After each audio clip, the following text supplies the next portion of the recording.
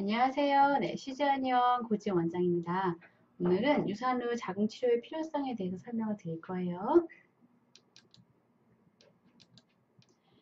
음, 이제 보통 이제 제가 한의원에 상담을 하다 보면은 유산 후에 바로 오시는 분들도 있고 아니면은 이제 임신이 잘 안 되셔서 어, 예전에 유산을 했었는데 이런 이런 증상이 생겼어요 라고 해서 오시는 분들도 있어요.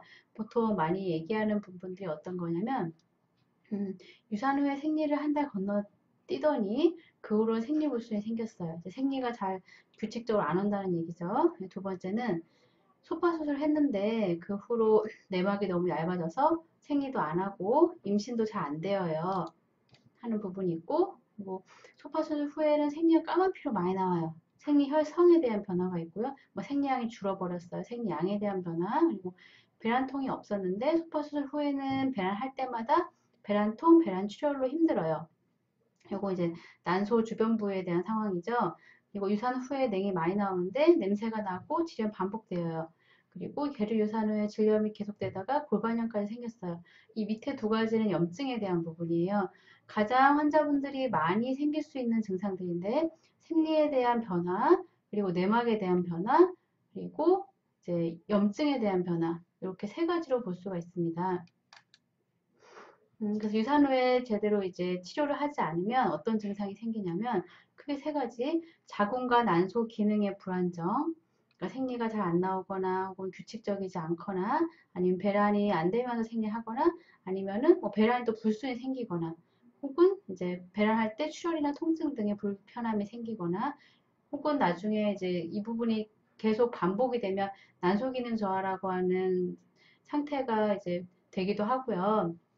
이런 부분도 이제 불안정의 상태로 볼 수가 있고 두 번째는 자궁 염증에 대한 반복 어, 아까 뭐 간단하게 얘기한 질염 골반염도 염증에 대한 부분이지만 이게 내막으로 파고들어서 내막염이 생기는 경우들도 상당히 많거든요.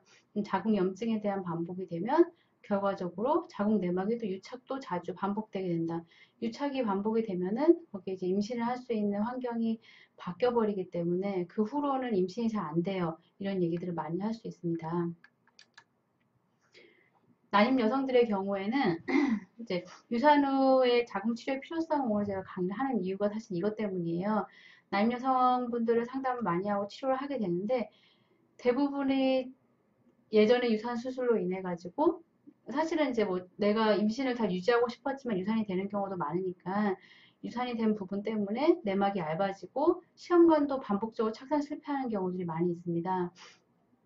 내막이 유착이 돼서 내막이 얇아지는 경향, 유착이 되면 그 안에 내막이 재생이 되지 않기 때문에 보통 뭐 8에서 10mm 정도 되면은 수정나 착상 이제 이식하기에 좋은 두께라고 하잖아요. 근데 이런 분들 같은 경우에는 이런 환자분들에는 내막 유착 혹은 내막이 손상되고 재생이 부전, 재생이 이제 안 되는 현상이 일어나기 시작하면 내막이 한 4, 5mm 아주 이제 많이 두꺼워 봐야 6mm 정도 돼. 그래서 내막이 이렇게 많이 얇아져 가지고 시험관을 반복적으로 착상이 잘 안 되는 경우도 있어요. 음, 이런 경우 이제 반복적으로 유착을 제거하는 수술을 작은 경우는 하게 되는데 보통 뭐 1년에 뭐 두 번, 그래서 한 3년 정도 계속 했어요. 그래서 보통은 이제 심한 경우에는 자궁 내막에 대한 유착을 제거하는 자궁경을 하는 것도 횟수가 5회 이상 늘어나는 경우도 되게 많습니다. 다시 복원하기가 사실 가능성이 매우 희박하기 때문에 이런 부분들에 대한 치료를 유산 후에 잘 치료를 하는 타이밍을 잘 맞춰서 하는 것이 중요합니다. 음, 자궁의 이제 내 외부 형태를 변형시켜 버리게 되는데 유착이라고 하는 게 자궁 내막과 내막을 같이 이제 내막과 내막이 있으면 그 사이를 이렇게 딱 붙여버리는 그런 유착의 경우도 있고 자궁과 주변의 다른 장기를 붙게 만드는 그런 유착 부분들이 있는데 염증 외에도 이제 배란과 관련된 난소의 기능까지 영향을 미칠 수가 있어요. 왜냐하면 자궁의 바로 옆쪽에 난소가 있잖아요. 자궁 내부의 유착이나 염증이 일어나면 난소로 바로 영향을 줘서 난소 기능이 저하가 일어나는 경우도 많이 있습니다. 치료 기간 요거는 같이 좀 더 길어지게 되고요. 난소의 저하에 대한 부분을 좀 더 자세하게 설명하자면 난소가 정상 배란 기능을 상실하고 예를 들면 생리하기 뭐 14일 전에 배란을 해야 되는 양상 그런 부분들이 불규칙해지거나 혹은 안 하거나 그리고 무배란성 부정 출혈 혹은 무배란성 생리 그러니까 몸에서 출혈 배출이 밖으로 나타나는데 이게 생리, 생리를 한다고 생각을 하지만 배란이 동반되지 않은 상태에서 생리, 출혈이 있는 경우도 많이 있습니다. 이게 반복이 돼버리면 결국에는 난소 기능 저하 및 난소 기능 장애가 생길 수가 있어요. 그래서 이런 부분에 대한 집중 치료가 필요한데 음, 시험관을 하거나 혹은 난임 기간이 길어지는 분들이 가장 이제 걱정을 하고 두려워하는 부분이 난소 기능 저하죠.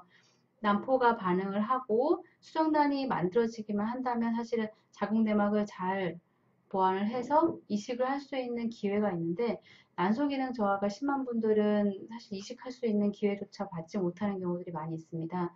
그래서 유산 후 어, 그리고 특히 그 같은 환자분들 그 환자분의 연령대에서 시험관을 성공하거나 임신 성공했는데 계류유산이 되는 경우들이 되게 많이 있어요. 특히 초기에 8주 이전에 그러면은 유산 수술을 하게 되고 혹은 어, 화학적 유산이라도 하더라도 내막이 당연히 타격을 받기 때문에 이런 부분들이 난소 기능 저하로까지 이어질 수 있다는 것을 매우 주의해야 됩니다. 음, 유산 후의 후유증 증상에 따른 치료 방법에 대해서 좀 더 살펴보도록 할게요. 아까 첫 번째 얘기했던 난소와 자궁 기능이 불안정한 경우에는 유산 후에 생리불순, 배란장애가 생기는 경우 상당히 많이 일어나는 일이거든요. 유산 후에 생리가 잘 안 해요. 50일이 지나서 첫 생리가 안 해요. 혹은 30일 지나서 첫 생리를 잘 했는데 그 다음부터는 생리가 불규칙이 생겼어요. 이런 부분들이 있는데 요거는 유산 후에 배란 기능이 회복이 잘 되지 않았기 때문이에요. 그러니까 난소가 자기를 잘 딱딱 맞춰서 해야 되는데 그 부분이 일어나지 않았기 때문에 생리불순이나 배란 장애가 생기게 됩니다. 어, 배란하고 내막 이 부분이 이제 저희가 한의학적으로 치료할 때는 배란만 잘 되거나 혹은 자궁내막이 자기 두께만 잘 갖춰지거나 이 각각에 대한 일만 보는 게 아니라 두 가지의 시간적인 템포가 잘 맞아야 돼요. 그러니까 배란을 할 때 난포가 어느 정도로 커져 있으면 내막은 어떤 양상을 보이는지 이 두 부분에 대한 밸런스가 깨지면 추후에 임신이 또 어려워질 수가 있습니다. 심각한 경우에는 난소 기능 저하가 진행이 되기도 하고 그래서 난소의 배란 기능까지 정상적으로 회복되었는지 체크가 필요합니다. 두 번째 이제 자궁의 염증에 대한 반복. 아까 자궁과 난소 기능에 대해서 불안정한 경우가 한 가지가 있었죠. 그리고 자궁 염증에 대한 반복. 이것도 사실 수술하고 나서 환자분들이 굉장히 많이 겪게 되는 증상인데 질염이나 골반염, 내막염 등의 자궁 염증이 자주 발생하게 돼요. 어, 수술하기 전에는 뭐 질염이 없었는데 수술하고 나서 자꾸 생리 후만 되면 가려워요. 분비물이 많이 생겨요. 냄새가 많이 생겨요. 골반 쪽이 아파요. 이런 부분들에 대한 호소를 하게 됩니다. 요거는 사실은 초기 치료가 굉장히 중요하고 처음에 증상이 생기려고 할 때 항생제 없이 잘 자궁 해독 치료를 하게 되면은 이 부분은 그 후로부터도 잘 유지를 할 수가 있습니다. 자궁 염증이 반복되면은 사실 난임 환자분들과 연관되는 게 뭐냐면 자궁 내부 네, 내막에 대한 부분이죠. 주변 장기와 유착이 또 발생하게 돼요. 그럼 자궁 내부에 대해서 유착이 발생하면 사실 수정란을 착상할 수 있는 그 층이 무너지는 거기 때문에 그 부분에 대한 보완이 많이 필요합니다. 그리고 차후 임신을 어렵게 만들게 되는 원인이 되고요. 자궁 내막의 유착 이제 세 번째에 대한 휴, 후유증인데 음, 제가 실제로 이제 치료하는 케이스들 중에도 유산 후에 자궁 내막의 유착이 심해져서 자궁 내막이 재생되지 않아서 너무 얇은 경우 이 분들은 사실 냉동 수정단들이 있거든요. 그래도 그거를 이식할 수 있는 타이밍을 맞추지 못하는 경우들이 있습니다. 그래서 내막을 재생하기 위해서 상당히 장기간 동안 공을 들이고 있는데 그 부분들이 정말 처음엔 3mm 였다가 5mm, 6mm, 7mm 이렇게 사실은 발전하면서 수정단을 착상시키고 임신을 할 수 있는 기회가 되는 환자분들 케이스들이 많이 있는데 어, 자궁내막 유착이 있으면 사실은 치료 기간을 좀 더 이제 길게 잡아야 되는 어려움이 있고요. 자궁내막 유착이 생기는 이유에 대해서 보면은 유산 후 소파 수술을 할 때 자궁내막의 이제 기능층 그리고 그 아래 기저층이 있어요. 기능층만 제거를 해야 되는데 유산 수술할 때는 사실 남아있는 조직이 없어야 되기 때문에 기저층까지 살짝 상처를 입히게 되는 경우들이 많이 있습니다. 기저층은 다시 재생되는 층이 아니기 때문에 기저층이 손상을 입게 되면은 그 위에 내막이 얇게 쌓일 수밖에 없어요. 그래서 수정란을 착상시킬 때 문제가 발생하게 됩니다. 소파 수술로 인해서 자궁 내 유착은 반복 유산의 주요 원인이 되기도 합니다. 그래서 산부인과에서도 이 부분에 대해서 주요하게 다루죠. 자궁경을 해서 유착을 제거하거나 혹은 뭐 시험관 하기 전달에 자궁경 합시다 이렇게 계획을 짜기도 합니다. 이 부분들이 예방치료 및 집중치료가 필요한데요. 유산후 치료가 이제 필요한 경우에는 어, 저희가 이제 유산후 치료를 받으려고 환자분들이 오시면은 두 가지 경우로 일단 크게 나눠요. 그러니까 임신을 바로 원하는 분인가 아니면 미혼 여성인가. 그러니까 임신을 이제 계획하면서 음, 원하는 분들의 경우에는 사실 대부분은 거의 첫 생리하기 전에 타이밍을 잘 맞춰서 오십니다. 왜냐하면 심각성을 알고 있기도 하고 이 시기를 놓치지 않고 치료하는 경우가 좀 많기 때문에 무리 없이 회복을 할 수가 있고요. 임신을 원하지 않았던 경우에 이제 소파술을 하게 되는 미혼 여성의 경우에는 대부분 치료 시기를 놓치게 되는 경우가 많이 있어서 이 부분은 주의를 하셔야 됩니다. 유산후 조리를 위해서 한의학적인 치료는 일단 단계적으로 한약 처방을 하게 되는데 음, 처음에는 수술을 하고 나서 잔여 어혈들이 많이 생기고 그 이제 상처가 난 부위에서 계속 출혈이 생기게 됩니다. 이 부분들에 대해서 깨끗하게 해소할 수 있는 어혈을 제거하는 그런 부분들에 대한 약재가 같이 들어가 있는 한약을 처방하게 되고 그 다음 단계로는 자궁의 뿌리의 힘이 굉장히 많이 약해져 있기 때문에 자기 기능을 제대로 못하거든요. 그걸 다시 살려주는 한약 처방으로 넘어가게 됩니다.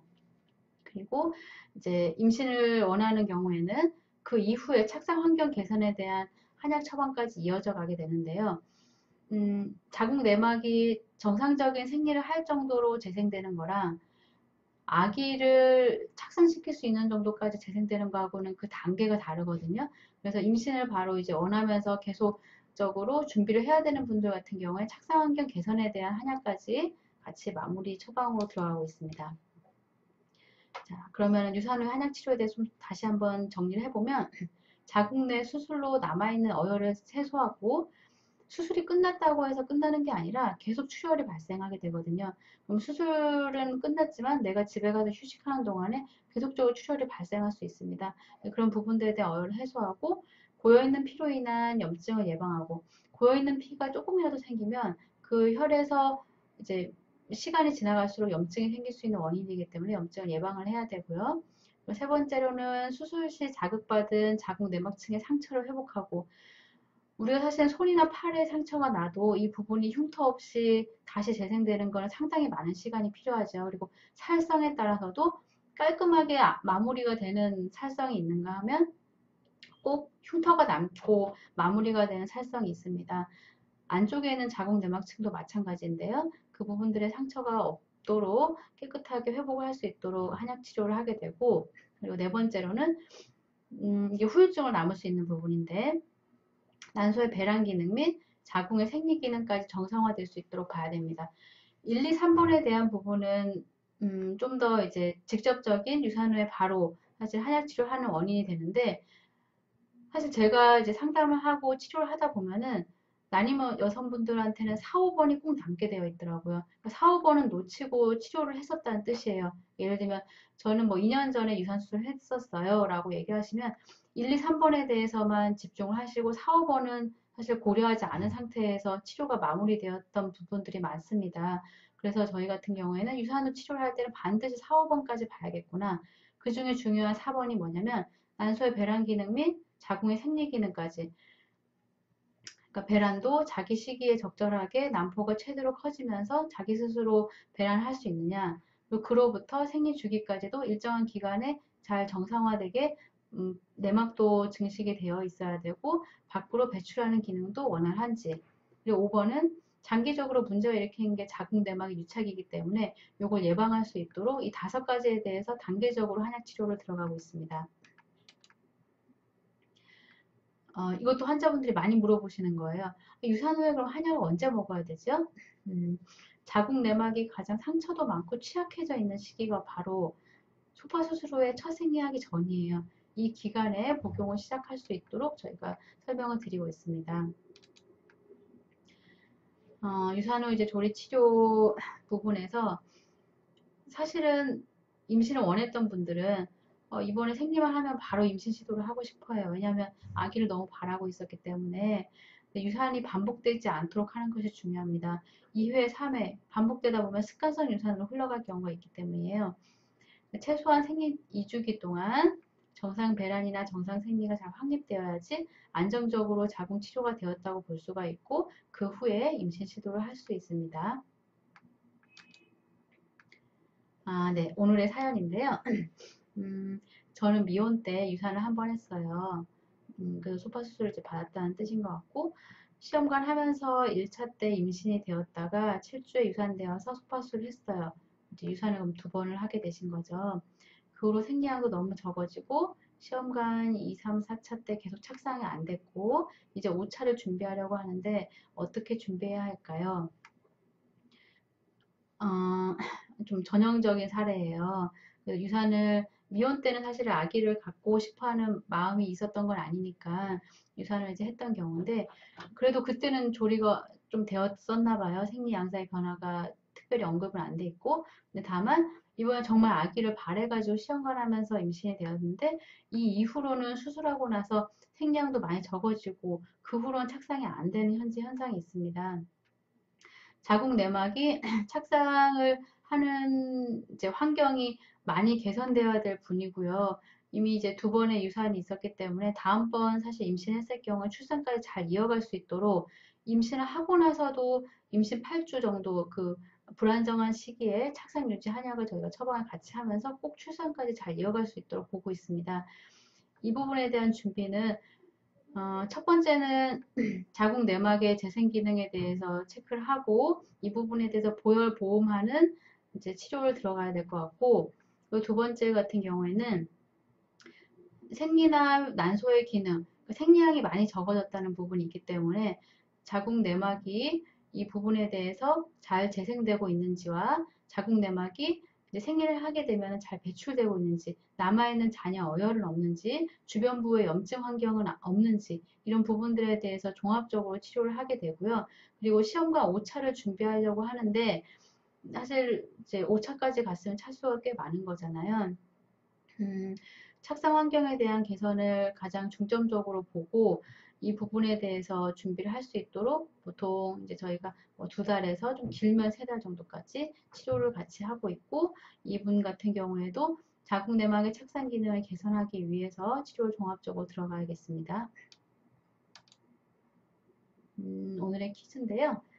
어, 다음 중 유산 후 후유증이 아닌 것은 뭐 자궁 염증이 반복, 소화불량, 생리불순, 자궁 내막 유착 이렇게 네 가지 중에서 어, 하나를 골라서 어, 예, 카카오톡 시즈한양 자궁센터로 정답 메시지를 보내주시면 됩니다.